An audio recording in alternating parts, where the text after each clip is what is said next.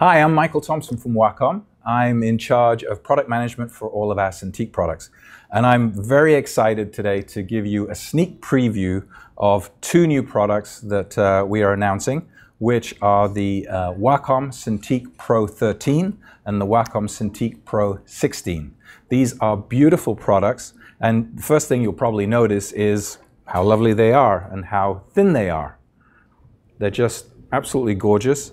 They mirror, um, if you're familiar with the Cintiq 27, their larger brother, they mirror the same kind of design where you have this edge-to-edge glass screen on here that's just it's just beautiful. It's like an infinity pool. You know, it, if you're creating, it doesn't get in the way of your, your creation. It's, it's, you kind of get into flow with, with these kinds of products. They come with a, a bunch of different uh, um, enhancements to them as well. If you're familiar with our product that we announced a few weeks ago, the Mobile Studio Pro, we've got many similar uh, attributes in here. The, the, Mobile Studio Pro, of course, is a, a, full computer, a very powerful computer, whereas these are pen displays, so there's no computer in these.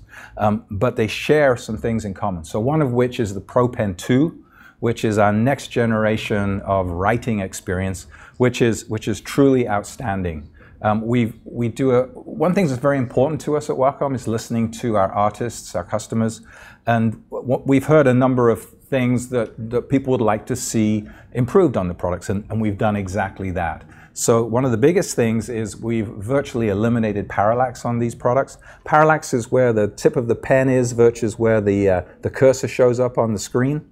Um, that's virtually gone on these now. Um, we've increase the, uh, the color gamut on these products. It's absolutely beautiful. We've increased the uh, pressure sensitivity on here. You'll find the dynamic range on pressure, the, the, the, point where you just barely touch the screen and you get a, a gorgeous you know, feel uh, uh and draw, control of, your drawing um, is on here with four times the pressure levels that we've had in the past. The other things about these products are multi-touch. Uh, both of them have a full multi-touch on them, so you can take advantage of all the modern operating systems.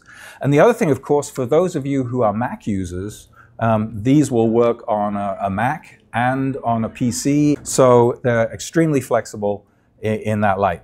Um, we think you'll love them, and you can find out more by going to wacom.com. Uh, you can sign up there to get, uh, to get informed when these products will be available, uh, which should be sometime later this year.